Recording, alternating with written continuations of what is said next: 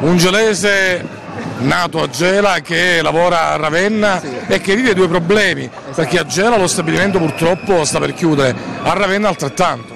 Speriamo di no, speriamo di no, noi facciamo la nostra parte protestando e sperando di portare a casa anche questa vertenza. Ma si poteva immaginare un futuro così nebuloso? No, no, neanche negli scenari peggiori si poteva immaginare. Un altro gelese che lavora a Ravenna è andato via da Gela per trovare lavoro a Ravenna e ora purtroppo con le decisioni di Descalzi lo sta per perdere. Allora, noi stiamo condividendo la giornata di oggi soprattutto come solidarietà eh, nei confronti degli stabilimenti in crisi. Ovviamente eh, la tenuta di tutti gli stabilimenti significa la tenuta del modello industriale del nostro Paese.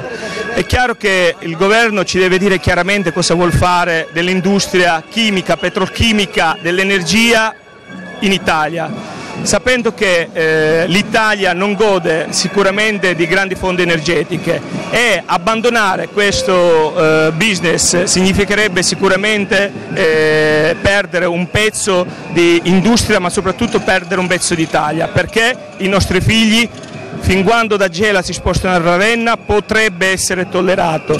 Oggi vediamo una emigrazione verso il nord europea, questo eh, sicuramente ci fa male. Anche Livorno vive una grave crisi. Ma sta dando questa mannaia perché si pensa più al profitto per gli azionisti piuttosto che a, a salvaguardare l'industria e i posti di lavoro in Italia.